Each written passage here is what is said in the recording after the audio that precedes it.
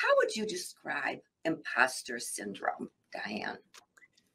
Well, without going into the Freudian explanation, it's really when you feel down on yourself, you you never feel good enough, you feel like you don't measure up to other people, and you're you're constantly talking in a negative manner to yourself.